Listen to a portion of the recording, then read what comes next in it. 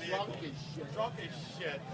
If we had gotten pulled over and made the fucking He was going to buy the whole shopping center Yeah, where, uh, where yeah. Christopher's was because they wouldn't let him in. And he could have afforded it too. Wouldn't take it